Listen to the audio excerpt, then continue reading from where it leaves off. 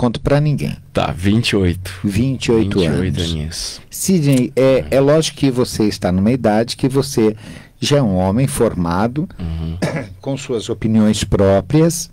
É, sei também que você abriu mão de uma série de coisas para ir atrás do seu sonho de ser um artista, né? Me diga uma coisa, Sidney.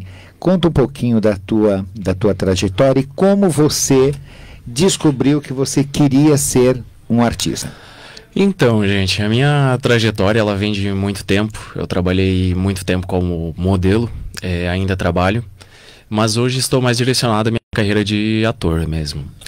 Mas eu venho de longa data, acredito que deve fazer uns uns 10 anos assim, mais ou menos que eu ando trabalhando nisso.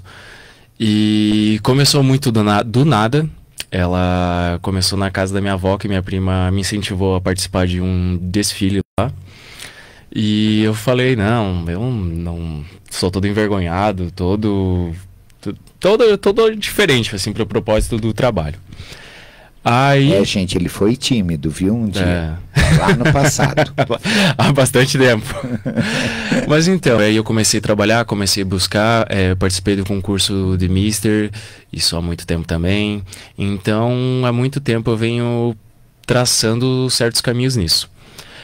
Aí, eh, recentemente, eu estava vendo um, um filme e eu sempre trabalhei muito Paraná, Santa Catarina e Rio Grande do Sul. Aí eu assistindo um filme pensei, poxa, eu sempre recebo elogios devido ao meu trabalho de modelo, né?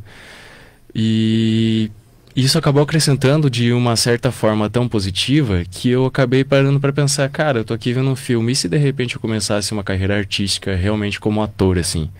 Eu sei que é algo novo para mim, algo que eu não não tenho, como é que posso dizer, total habilidade assim da carreira, mas acredito que dia a dia eu tô buscando me melhorar ainda mais em todos os aspectos que eu tô traçando das minhas metas.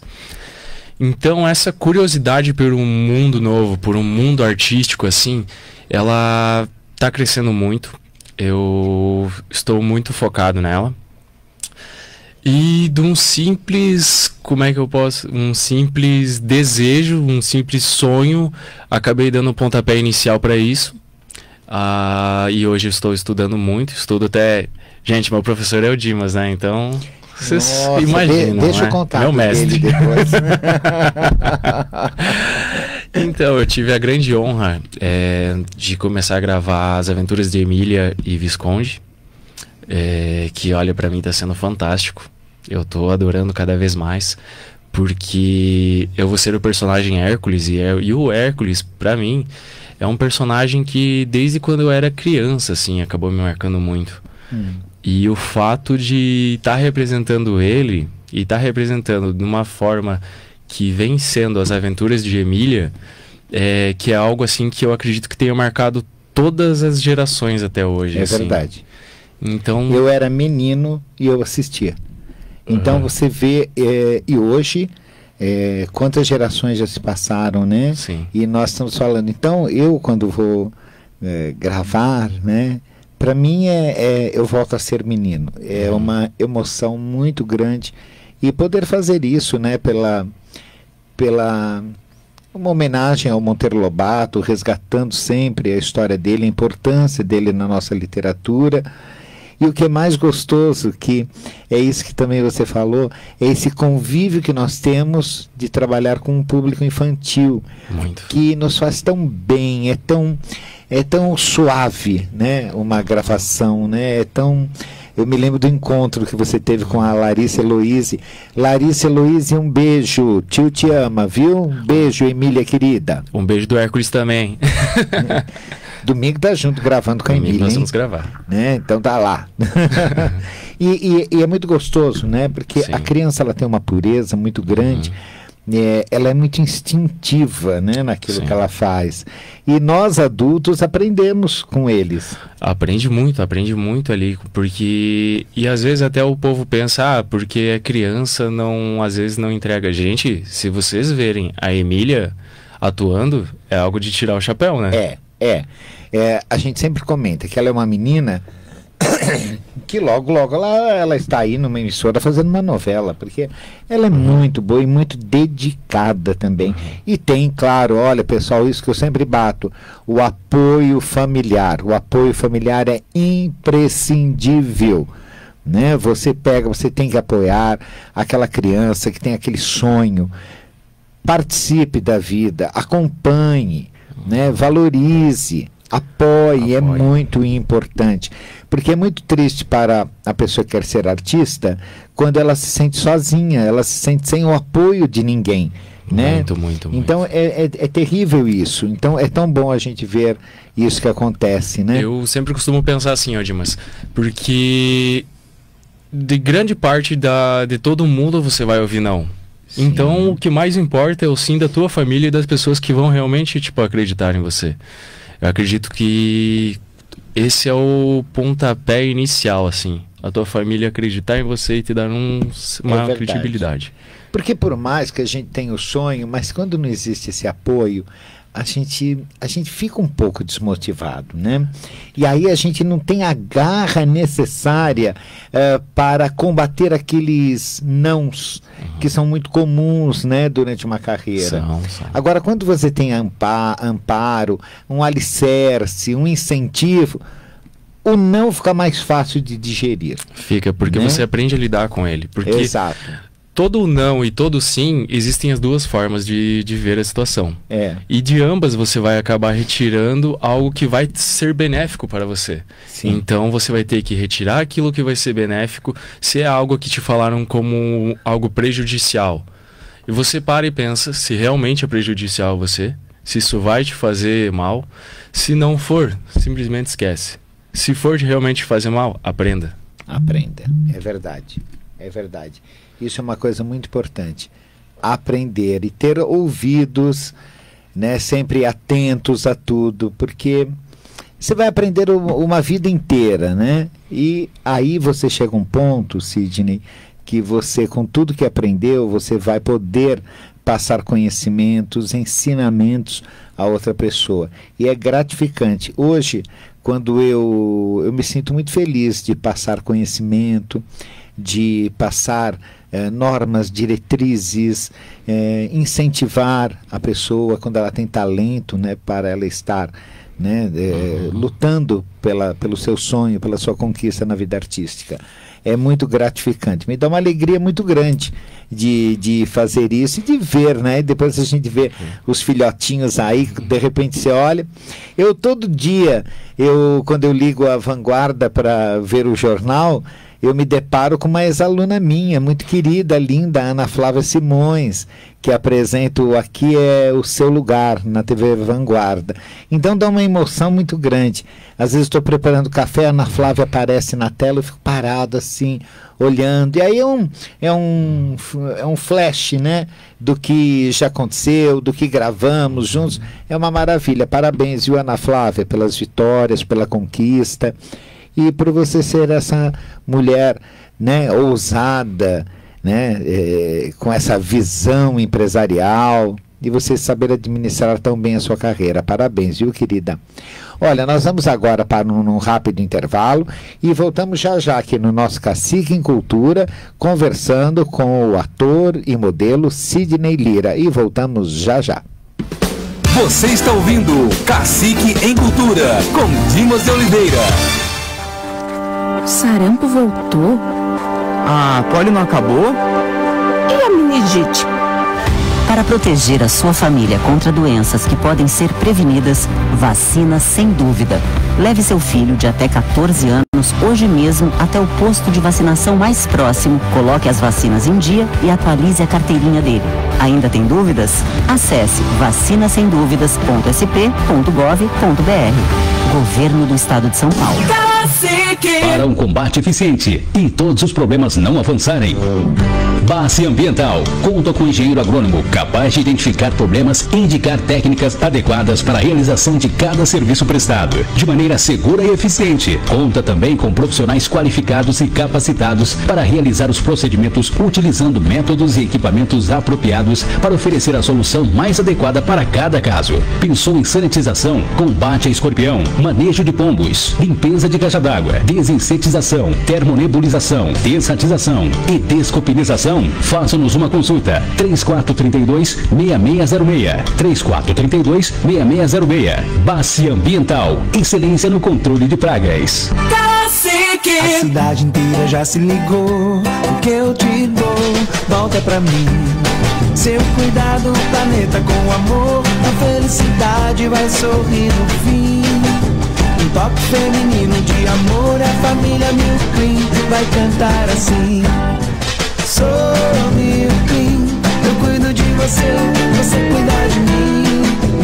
Paixão é te ver feliz. Cacique. Ganhar na loteria é questão de sorte. E comprar tintas e material para pintura pelo menor preço é o quê? É questão de ir ao lugar certo. Grupo Tintas Tabaté. Há mais de 40 anos. Uma referência em material para pintura. As melhores marcas nacionais importadas na qualidade que você precisa. Cinco lojas com equipes orientadas pelas principais fábricas. Porque ter informação correta na hora de comprar é tudo que você precisa. Tintas Tabaté. Lojas em Taubaté e Pindamonhangaba. A gigante no ramo. É mês de aniversário do Cardoso e tem um presentão pra você. Tubo esgoto Amanco Vave em só R$ 79,80. Confira outras promoções em nossas redes sociais. Vai construir? Chama o Cardoso. Cacique.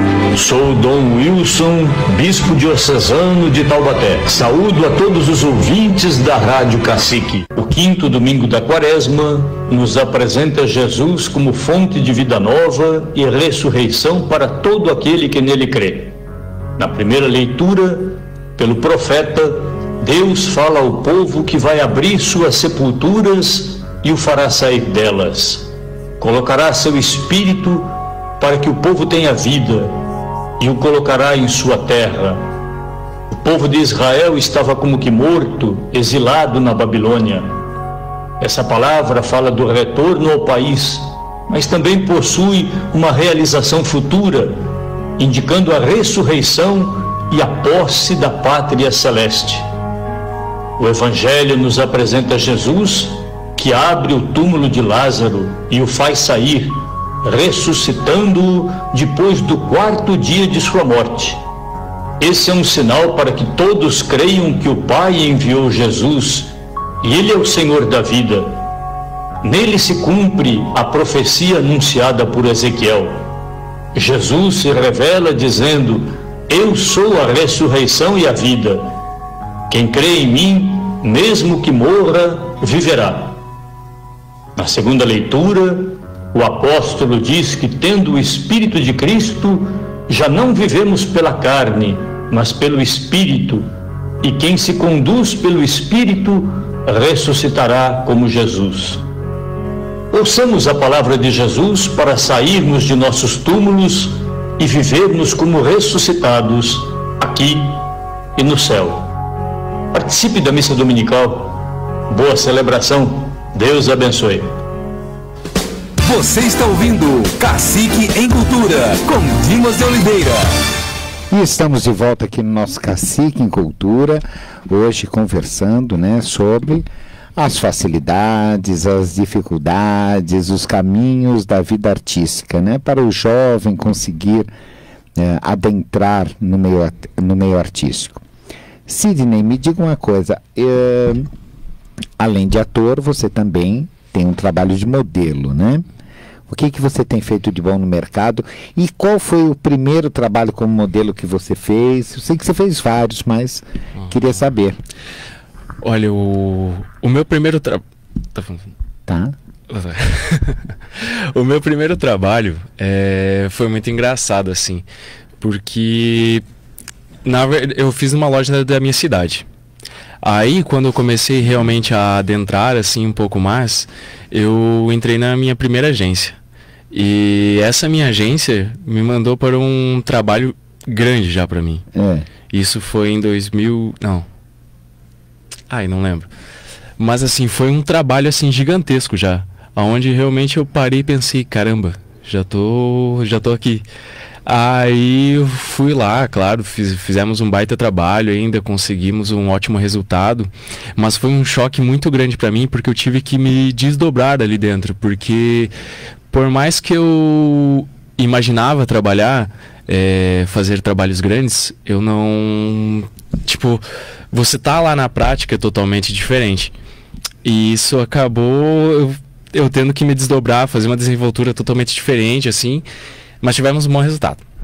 Aí o último trabalho meu, que. Deixa eu ver, o último trabalho foi o de uma marca lá de Maringá, que foi, foi muito legal. Foi uma marca de jeans lá. Nós fizemos um baita trabalho, tivemos um ótimo resultado e tivemos uma entrega tão boa que praticamente agora eu fui tipo descoberto assim na, na cidade. Ah, então tem muita gente vindo atrás e é. tal. Mas, gente, é fantástico trabalhar como modelo também. Pode. Se alguém tiver interesse, procura saber como, que vocês vão adorar. Eu quero saber mais dessas diferenças. Não que eu vá ser o seu concorrente, não você. Até porque, né? Eu tenho que te respeitar, que se eu entrar, eu é lógico que você perde. Aí que tá. Né? Imagina eu fazendo a propaganda do jeans. Não é? é. Jeans para idoso, gente, plus size. Que coisa. Quero mandar aqui um grande abraço para a professora Carmen Lúcia, da rua Pedro Costa, rua Doutor Pedro Costa, nossa ouvinte querida. Muito obrigado sempre por nos acompanhar aqui no Cacique em Cultura e na Rádio Cacique Tabaté. Um grande abraço, um ótimo final para a senhora. Quero mandar um abraço também para o Rafael Prando, Rafael Prando que está aqui mandando comentários.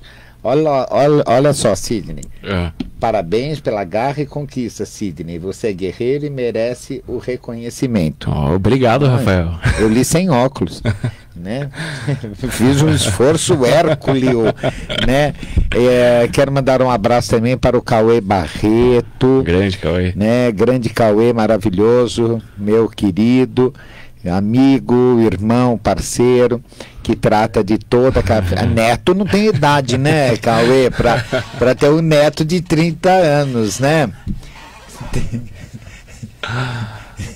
Foi ele que falou? Tá, Ó, gente, é, depois, depois, é, quando o programa estiver fora do ar, eu conto amanhã o que eu resolvi, tá? Isso daqui. o Cauê, que cuida de todo o agenciamento da carreira do Sidney Lira. Isso. E vem fazendo um trabalho assim maravilhoso. Porque é muito difícil também você trabalhar né, para fazer a carreira, ajudar na construção da carreira de alguém. Eu estava conversando com o Sidney aqui nos bastidores a pessoa, ela não adianta só querer. Ela precisa ter muito empenho, muito foco, muita dedicação, muito estudo e, nesse começo, abolir uma série de coisas. Não é verdade, É Sidney? verdade. Gente, vocês têm que realmente viver a coisa, eu acredito. Porque assim, é. Você vai ter que procurar estudar muito. Você vai ter que, dependendo do personagem, você vai estudar o personagem. E é foco o dia todo, gente. Não tem muito descanso, às vezes vai ser cansativo, às vezes vai ser exaustivo, às vezes você vai querer jogar tudo para cima, mas não é bem assim que funciona. Se você realmente quer isso, é simples, é só você ir atrás e fazer. É, é, é aquilo, né, gente? É foco, determinação e ter muita vontade. Muito. Muita vontade mesmo. Inclusive, né, fazer uma série de exercícios, né, É, então, na verdade, assim, esse, isso dos exercícios, é, gente, porque assim, tipo, eu treino há 11 anos já, e praticamente todo dia eu ando treinando. Só que eu, às vezes, tipo, acaba sendo, tipo, muito, nossa, mas pra que ir na academia todo dia e tal? Gente, às vezes nem é questão de foco, assim, realmente. É mais por disciplina. É você disciplina. saber que tem que ser feito, não você uhum. ter vontade de fazer. Então, é, a academia, pra mim, principalmente para mim tipo ela me abriu vários vários campos de visões assim aonde o foco o mesmo foco que eu tenho na academia eu tenho o mesmo foco em outras coisas quando eu quero conquistar É. Então, se eu tenho essa, disciplina de ir na academia todo dia, para quê? Para me alcançar o, a melhor forma física que eu consigo ali. E, e essa, esse mesmo foco, essa mesma disciplina acabou me ocasionando a forma com que eu levo minha vida. Então, se eu tenho uma meta para cumprir, eu tenho essa meta para cumprir. Eu não vou pegar válvulas de escape, pegar intermeios ali, isso independente como for. Se eu tenho esse negócio para cumprir, eu vou acabar cumprindo ele. Porque isso, isso é dedicação, vontade, é disciplina, é, aí é foco, é de tudo um pouco. É. Vai tudo somando para o bem maior. Porque muita gente às vezes me... vai parar na metade e outros não. Porque a sorte, a sorte ela vem da preparação e da, da oportunidade. São essas duas coisas que definem a sorte, eu acredito. É. Então você tem que estar tá preparado e tem que estar tá pronto. Sim. Para receber essa sorte. Daí que o povo fala, ah, eu tive sorte, mas ninguém vê o esforço que você Não, fez atrás. é verdade. É muito comum as pessoas falarem isso. Nossa, a sorte que ele teve, mas ninguém vê os puxões uhum. de orelha que, as, que a pessoa está levando. É, às vezes, noite sem dormir, estudo que acontece, cabelo branco que vai nascendo, né? Já tô com Precoce. mas não tem meu nome, né? Não, não, ah, não. Tá. Por favor, porque tem, tem atores que falam que todos os cabelos brancos que eles têm é, é devido a eu forçar muito. Não é? é aí, tá vendo? Mas acho que eles estão abusando daí, Jade, mas que não acho, é bem assim. Eu hein? também acho. Não, eu sou muito dócil, sou muito bonzinho. Né? Eu que estou ficando de cabelo branco, né? De aguentar, de aguentar. Mas uma é. coisa que a gente sabe, né, Sidney, que não adianta você chegar e você ser chamado para um teste numa novela, num filme, se você não estiver preparado. Ah, total. Né? Porque aí o que acontece? Você vai lá fazer um teste e todo mundo sabe que um teste de uma televisão, de uma agência de publicidade, de uma produtora de filmes, às vezes você vai ter mais de 50, 100, 150, 200 pessoas ou até mais para fazer esse teste. Alguém lá vai estar mais preparado do que você. Alguém se dedicou mais. Então, não adianta ter o convite se você não está preparado. E se você não ganhar, eu sempre falo, e se você não ganhar, não passar no teste, que você não passe pelo perfil da pessoa falar, olha, Sidney, adorei você, poxa, que pena que você não tem dois metros de altura e não seja loiro de olhos azuis. Pronto, ufa, que uhum. maravilha. Perdi por causa do perfil.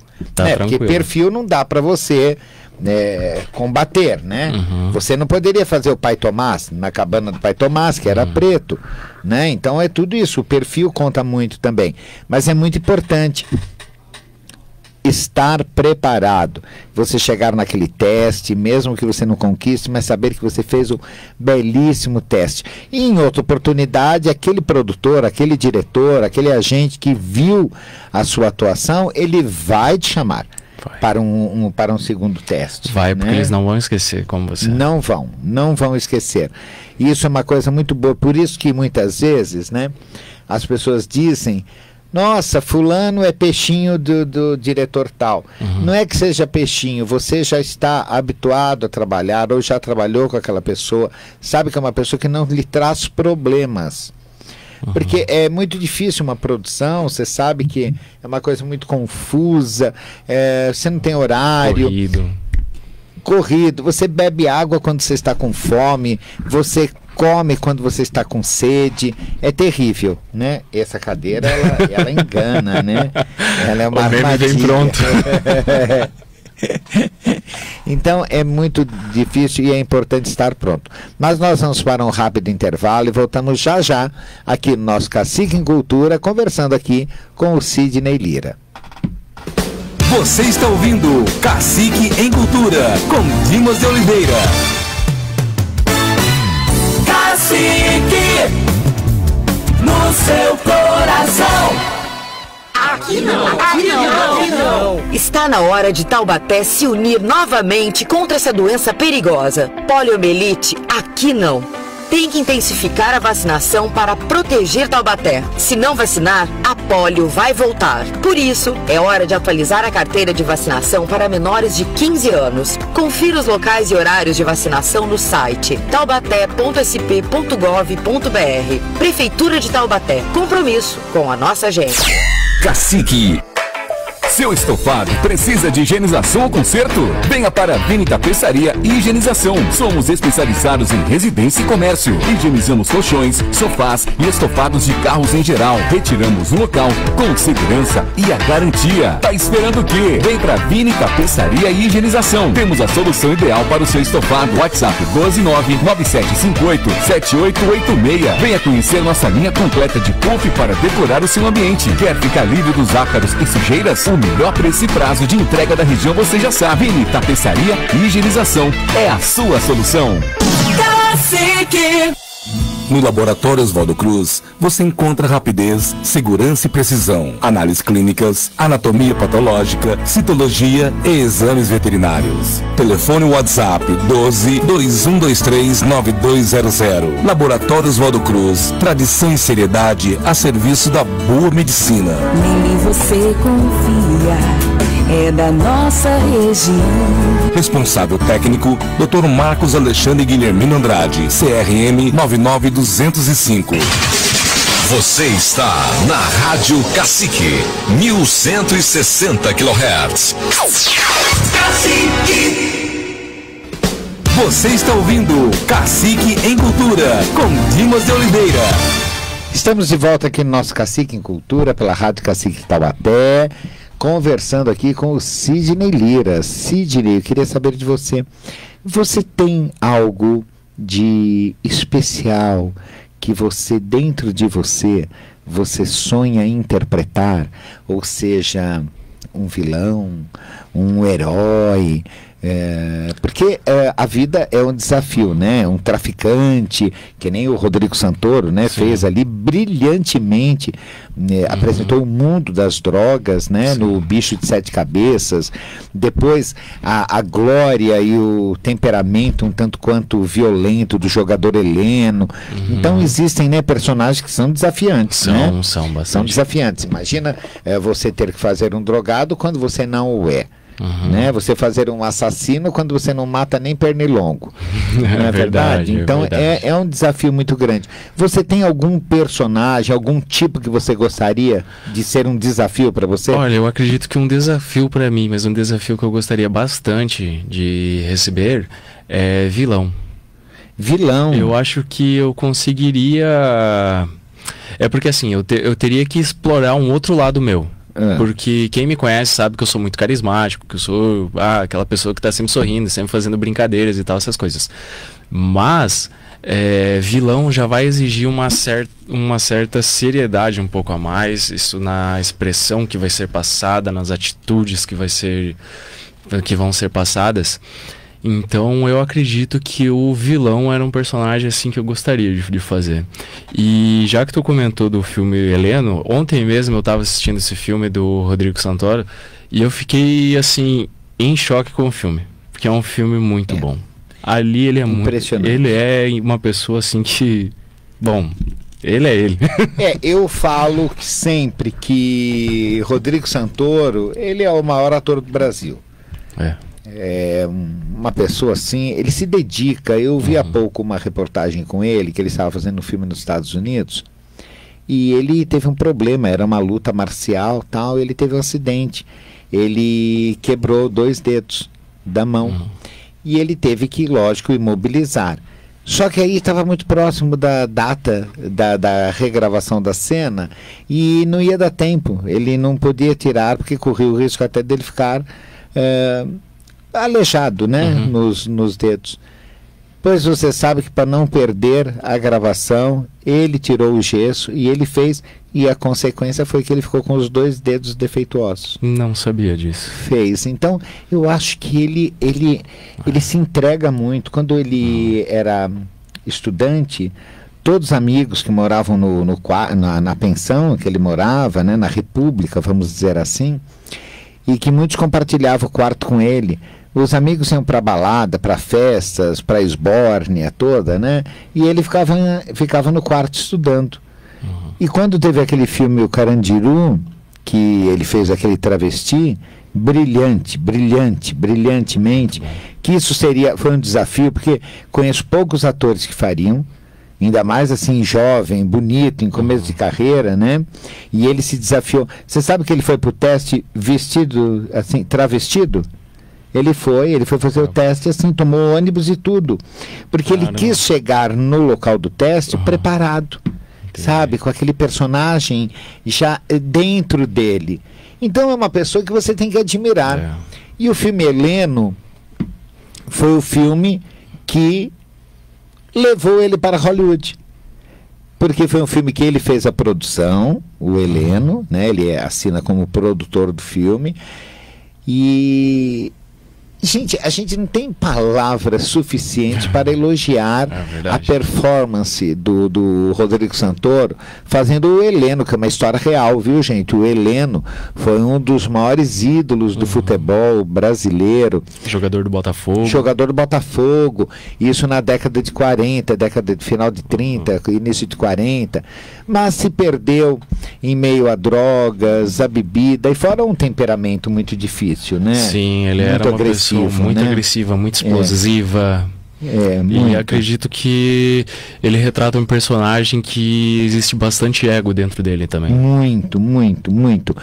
Eu me lembro quando eu assisti o filme, eu fiquei muito impactado, muito uhum. impactado com a atuação do Rodrigo e com a vida do Heleno, né, Sim. do jogador. E foi um filme que eu passei a usar em sala de aula para os atores, para os, os, alunos, para que eles estudassem aquilo. Eles dizem, porque é difícil. Se você pegar uma cena de Heleno para recriar, é uma dificuldade imensa. Ah, imagino. Né? Imagino. Eu me lembro que tem uma cena dele, quando ele está lá naquela clínica, que ele está nu na cena, uhum. né? E a primeira vez que eu assisti essa cena, que eu fiquei tão impactado com com a reação dele, né? Aquele trabalho de ator que ele fez, que depois comentaram comigo, aquela cena que ele está nu, eu falei, nu, eu não, não, não percebi. Eu fui ver o filme novamente, fui ver que realmente ele estava nu. Mas ele, ele passou tão bem, tão verdadeira Sim. a expressão dele de revolta, de uma pessoa que está sem uso das drogas, né? Uhum. Que a uhum. pessoa está assim de uma maneira muito pressionada, Sim. né?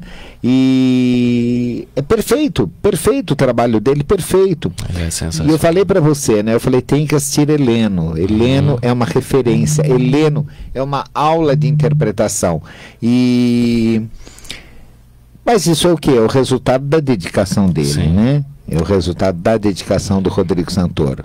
Ah, ele, assim, dá pra ver nitidamente ah, em todos os filmes, não só Heleno, como ele realmente sim, se entrega, assim, para o personagem, é. ele vive o personagem e ele sabe interpretar da melhor maneira possível, assim. Sim, eu me lembro quando ele também estreou na televisão, que ele fez Hilda Furacão, ele fazia o Frei Maltos, né, ao lado da Ana Paula Arósio.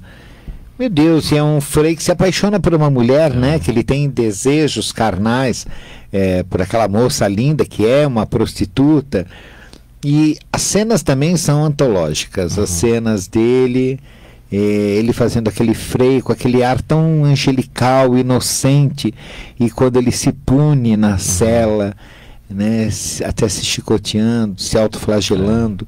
É, que aquilo realmente você vê que é uma construção de personagem, Sim. que é um trabalho de ator ator que tem que ser aplaudido, reverenciado.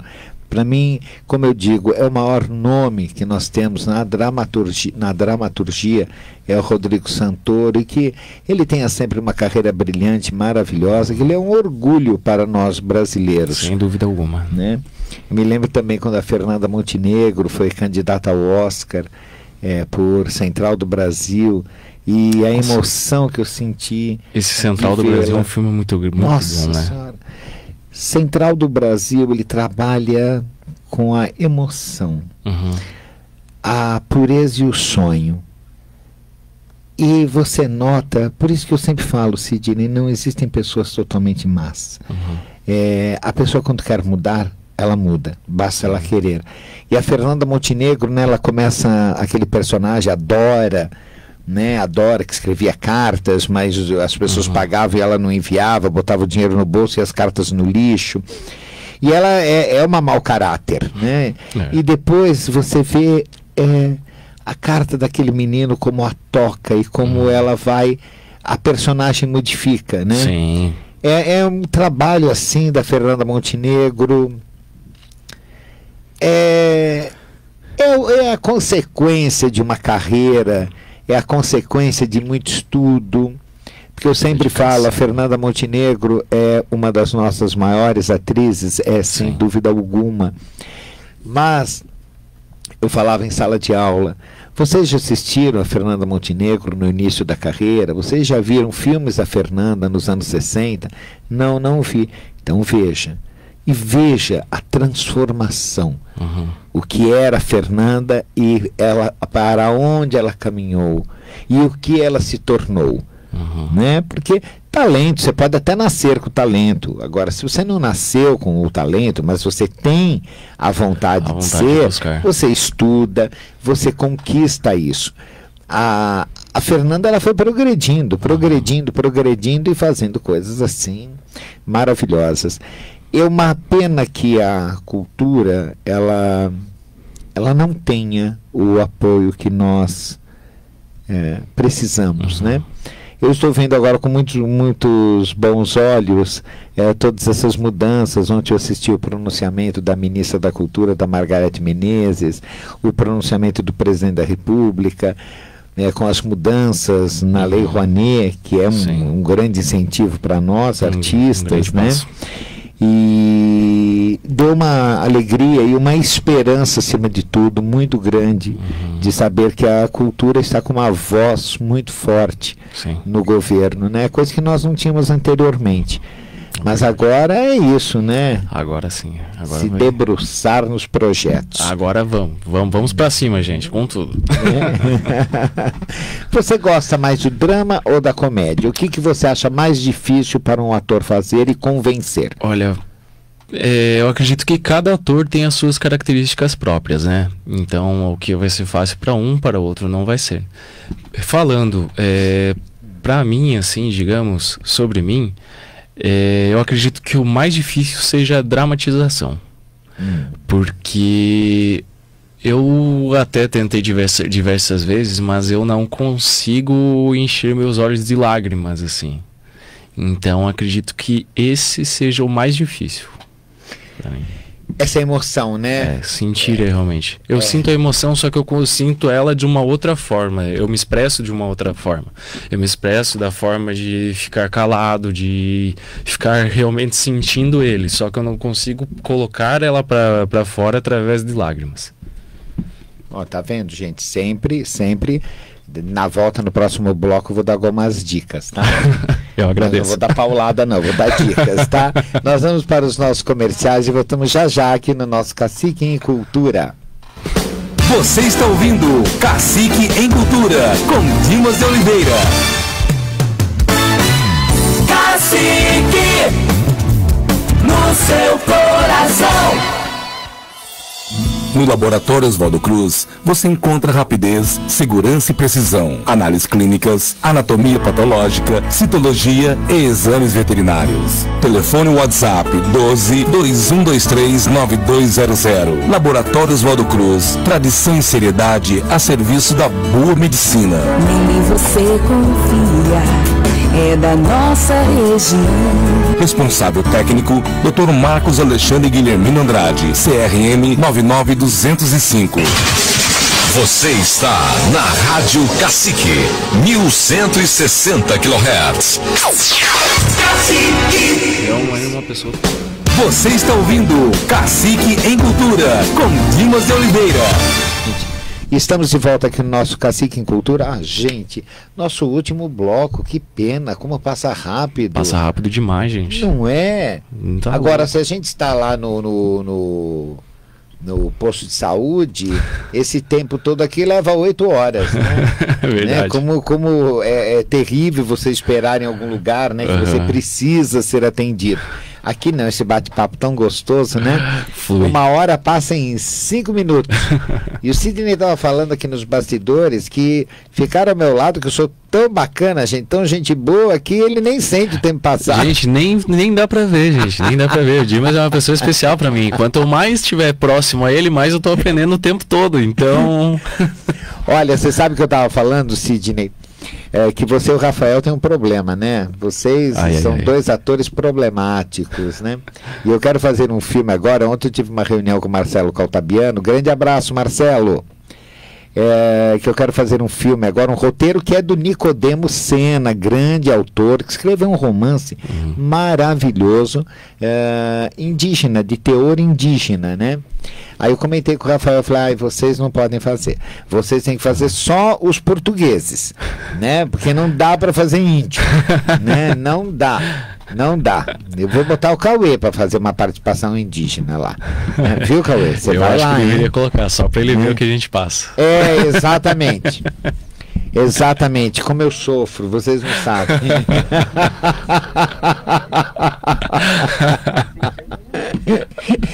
Mas você sabe que é, hoje em dia, graças a Deus, né, está se valorizando muito, Sim. né?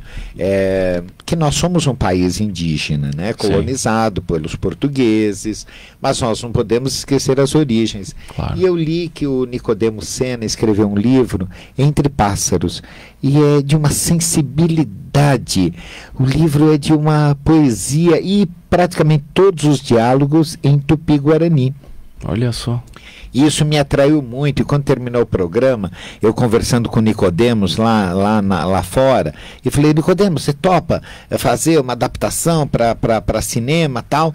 E ele topou, ele está alegre. Eu também estou muito feliz com a perspectiva de fazer esse filme agora para os PROACs, Que né? legal. Do governo do estado de São Paulo. Que uma parte da nossa história, né, da gente resgatar. Mas ó, não se preocupem, vocês não vão usar tanga, porque o tipo físico de vocês, vocês vão é, é mesmo estar lá, falar, ora, pois, né, cá, est- cá está, né, aí vai ser, vai ser melhor, viu? Né? Então, é, que nem a gente estava conversando, né, Sidney, com relação a buscar. Eu sempre digo, e digo isso a você também, com relação à emoção. Né? O quanto muitas vezes é difícil. E isso não é, não é um problema seu só. Muitos atores têm esse problema. Tem pessoas que choram muito fácil. Sim. Eu já vi isso, gente. Não é mentira. Não é mentira. Do ator chegar para mim e falar assim: Você quer que eu comece a escorrer a lágrima pelo olho esquerdo ou direito? Eu falei: Tá de Caramba. gozação. Tá de gozação comigo. Em vez de eu ficar bravo, eu- aí eu Aham. falei: Olho esquerdo. Olho esquerdo. Tá E brincando. caiu a lágrima do olho esquerdo. Eu gostaria de estar brincando, porque eu me senti assim Caramba. humilhado. Uhum. Né? Falei, como é que uma pessoa tem esse controle? Sim. Né? De não, primeiro aqui, primeiro ali, né? Primeiro esquerdo, segundo direito, tal. Então eu sempre falo e já falei para você é que é muito importante a, a pessoa quando ela tem essa dificuldade é, de chorar, que muitas vezes o roteiro pede, apesar de eu ser contra, porque lágrimas não significam que seja uma, uma manifestação de dor. Exato. Né? Você pode sentir eh, uma manifestação eh, por um luto né, de, de um familiar, de um amigo, alguma coisa assim, mas você pode sentir tudo aquilo com muita emoção, mas sem derramar uma lágrima. Com certeza. Então eu sempre falo que a pessoa ela tem que buscar da memória afetiva. É aquilo que nos marcou. É, Eu penso que muitas vezes as pessoas elas falam, poxa, a morte do meu avô, a morte da minha avó, a morte do meu pai, e a pessoa vai buscando aquela história. Né? Até término com namorada, que a pessoa devia comemorar, fazer um baile de carnaval, feliz da vida, serpentina, confete, lança perfume, mas mesmo assim tem gente que chora, Tem, sabia? tem, tem. Você já chorou por isso? Ah, já. Vou dar na tua cara, hein? Mas isso faz mais de cinco anos. Ah, tá. Então Você era, você era adolescente. É. Então, vou te perdoar, vou te perdoar. Né? Tô brincando, viu, gente? A gente também chora, também já chorei por amor, né? Faz nunca, uns né? 70 anos atrás, né? Mas era chique chorar por amor naquela época, né? Era elegante, Era elegante, né? era era elegante, elegante. era bonito. Então, a gente sempre buscar da memória afetiva. Eu, essa semana, eu fiquei muito emocionado e chorei muito, até de soluçar, eh, que passou o filme Sempre ao Meu Lado. Nossa, até filme é comentei com você. Sim. E eu vi o final e eu falei pro Rafael, eu falei assim, eu não devia estar assistindo esse filme. Não deu tempo de eu levantar, porque eu tive uma crise, eu chorei porque eh, naquele momento não era o filme, e eu estava lembrando da minha cachorrinha, a bebê, que ficou 17 anos comigo, e eu tinha perdido. Né, que ela faleceu. Então, foi uma memória afetiva que me provocou aquilo. Então, muitas vezes, o ator é imprescindível. Ele tem que chorar, usar da memória afetiva, viu, pessoal? Funciona. Lógico, é dolorido, porque há coisas que estão enterradas. Há coisas que estão lá sepultadas, que você não quer abrir aquela porta, tirar aquela tampa, mas é muito importante para você, para você mostrar uma boa atuação, um bom personagem, né? É muito bom fazer isso. É verdade. Mas eu sempre também bato pela outra tecla, né, Sidney? Como você sabe, é, nem sempre a lágrima significa emoção. Sim, sim. É, co- co- é como eu tava falando, tipo, a minha forma de realmente sentir a dor, às vezes é ficando quieto, ficando isolado e ficando triste. E isso não, tipo, o fato de não estar chorando não vai querer dizer que eu não esteja sentindo. Talvez eu possa estar sentindo até muito mais do que uma pessoa que esteja derramando lágrimas. E eu vejo que isso é um sentir de, de, de uma forma perigosa. Sim. Porque quando até os, os próprios médicos pedem, né, os terapeutas, psicólogos, psiquiatras, que você coloque a sua emoção para fora. Né? Porque senão você fica com aquilo preso dentro de você, você pode ter até um infarto, alguma coisa assim. Agora, quando você põe para fora, não, não, é, é, não é tão ruim né? para a tua saúde, né? Sim, principalmente pela tua saúde mental. Bastante. Mas é aquilo, não é sinal. Então, se você não consegue chorar, gente, usa da memória afetiva. Se não chorou, entendeu? Não se mate. Não, não precisa ir na ponte aqui da Dutra, se jogar. Não Não, há necessidade. Não, de forma nenhuma. Assim como rir. Né? Como rir. Rir também Sim. é uma coisa que imagina. Você rir de algo que você não achou graça nenhuma, né? Não tem Que você como. vira assim pra pessoa e fala assim, mas eu tenho que rir agora? Mas qual o motivo que eu tenho que rir, né? Aham. E aí o diretor, vamos gravar, vamos gravar, e você tem que rir, né? Chorar de rir, né? Maneira de dizer, por causa de algo que você, na verdade, não está achando nem um pouco engraçado. Então, a vida de ator. não, não é, gente, não é esse mundo cor-de-rosa, não, que as pessoas pensam. É muito difícil, né, Sidney? A rotina É, toda, é, a né? rotina é algo assim que, é como eu tava, tinha falado antes, você tem que se dedicar 24 horas por dia para isso. É, você tem que pensar muito no teu psicológico, no teu físico, teu mental. E sempre atrás de melhorar, né? Porque... E ainda você tem, que uma coisa que você falou mental, é uma coisa que ainda você tem que aprender a lidar Uhum. com o sonho. Eh, muitas vezes não é naquele momento que se realiza aquele sonho e você lidar com não Sim, né? sim. é complicado, né? É, dá, dá para se dizer que assim, uma coisa que eu paro e penso muito aqui, tipo, tudo é na vontade de Deus, né? Então as coisas acontecem na hora que tem que acontecer. É Às vezes se não aconteceu antes é porque de fato você não estava preparado para que isso aconteça. Eu também acredito muito nisso. E é uma coisa que eu falo, é, se tivesse acontecido ia ser ruim, ia Aham. ser negativo, Exato. não ia dar sucesso algum. Então eu acho que é bem isso.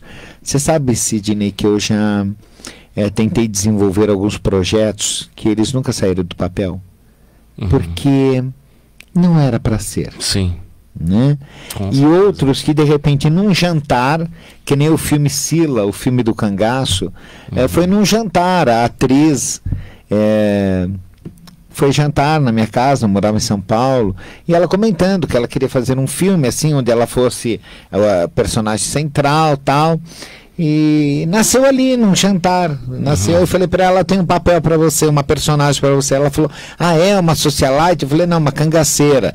E aí ela fez a cangaceira e olha, Olha recebeu aí. o prêmio de melhor atriz eh, nos festivais que, o filme legal. está correndo. O filme foi todo feito aqui em Taubaté. Eh, teve uma equipe de 43 pessoas. Foi um trabalho cansativo, porque não é fácil você. Imagina eu, diretor, eu chego para você e falo assim: naquela semana que você vai gravar, eu pego e determino, Sidney, não é para tomar banho. Como assim não é para tomar banho? Não. Você não vai fazer barba, você não vai tomar banho, você vai gravar com fome, né? Mas por que tudo isso? Porque você está ali. Sim. Num, num, num, num, num foragido. Exato. Então você precisa sentir aquilo que você está eh, interpretando. Viver o personagem. né? Viver o personagem. né? Então, isso que é muito importante, isso que eu também sempre bati muito Uhum. com as com as pessoas, né, que elas adquirissem esse, como a gente fala, esse laboratório de vivência para ela fazer. Imagina você ir gravar um, um, um cangaceiro foragido no meio da mata e você cheirando perfume De barba feita? é, barba feita, perfume da Natura, não dá certo, né? Sim. Limpinho. Não. Você não vai acreditar em você. Exatamente. Concorda? Você Sim. não vai acreditar. Total. Né? Porque você vai falar, nossa, mas eu esse é o Sidney, É. não é o cangaceiro, Sim. não é o balão, né? Aham. Que era o nome de um cangaceiro. Então eu acho que isso é muito importante quando a pessoa, ela realmente ela se entrega. Sim, Eu tenho um amigo, Washington Lins, que ele ganhou um prêmio num- também como melhor ator.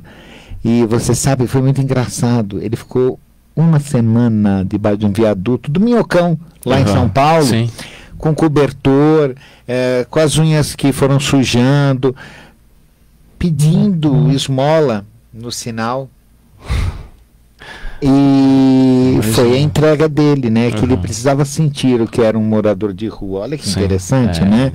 Palmas para ele. Palmas mesmo. Né? Porque Foi a é fundo para difícil. estudar o personagem E outro, perigoso, hein? Porque eh, nós estamos falando de São Paulo. Sim. Né? Não é fácil São Não. Paulo. Né? É muito complicado. Morar lá é. Nossa senhora, morar em São Paulo é complicado, viu, gente? Olha, Sidney, eu quero te agradecer muito eh, pela tua presença aqui no Cacique em Cultura, na Rádio Cacique Taubaté. Agradecer eh, muito a sua presença. É, é muito importante esse bate-papo de quem está buscando, né, ah, galgando os degraus dessa carreira artística e eu te desejo todo sucesso, você sabe o quanto eu torço por você e que você realmente consiga todos os teus objetivos. Amém, Dimas. Eu que quero agradecer a oportunidade de estar aqui contigo mais uma vez. Agradecer você por tudo o que você vem me ajudando na minha carreira, que são coisas assim, que são fundamentais para mim. E tá me ajudando a ser uma pessoa muito melhor. Além de tudo. Olha que bom. Então- Tá vendo, gente, isso que vale. Então, muito obrigado mesmo, de coração. Eu que agradeço, Sidney, muito obrigado. Depois você passa esse texto pro Rafael, viu? Eu tô brincando assim, gente, o Rafael também é ator. E ele é o produtor do seriado Aventuras da Emília e do Visconde. Mas ele diz que eu tenho um gênio muito difícil. Só um pouquinho, ele falou. Pessoal, muito obrigado a todos pela audiência. Quero deixar aqui o meu carinho, o meu beijo para o Cauã, Cauê Barreto. Gente, olha, eu tenho na vida, eu tenho o Cauã Freitas, que é o Pedrinho. Eu tenho o Caian, que é aluno meu na comunidade Bom Pastor. E o Cauê. Gente, podia ser todo mundo Cauê, né? E o- o- o Cauê, eu vou começar a te chamar de Keké. Dá? Chamei você de Luan? Não, é internação, gente. Daqui nós vamos direto, tá? Prometo a vocês. Tá bom? Internação. Gente, muito obrigado a todos. Né? A professora Carmen Lúcia, meu grande beijo, meu abraço, meu muito obrigado. A todos vocês, um ótimo final de semana. Que nós vamos trabalhar esse final de semana, Vamos. né? No Sem seriado, sem parar, gente. Olha só, e não é sem parar do pedágio, não. Tá bom? Então, bom final de semana. Beijo no coração. Segunda-feira nós estamos de volta com mais Cacique em Cultura aqui na Rádio Cacique Taubaté. Boa tarde a todos. Desenvolve a Rádio Cacique em sintonia com você. Cacique! A cada dia, um tema diferente. Indústria, comércio, turismo, tecnologia, segurança, justiça, solidariedade. Desenvolve na Rádio Cacique. O seu dia termina com uma injeção de ânimo e estratégia. Desenvolve diariamente às 5 da tarde, aqui na Rádio Cacique. A informação na medida certa. Desenvolve cidade. Oferecimento. Sim Comerciários de Taubaté e região em defesa da classe comerciária.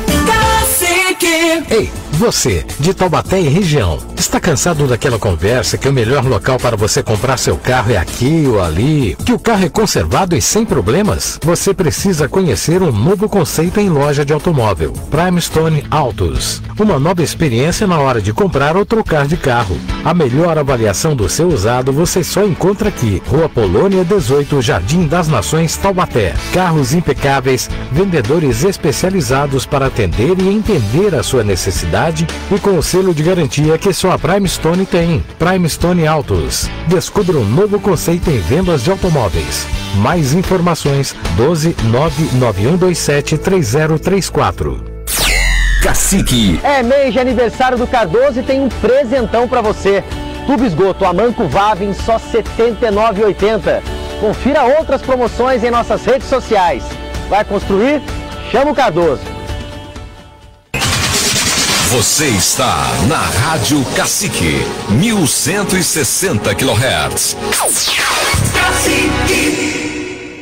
Está entrando no ar. A conexão dos grandes sucessos do sertanejo.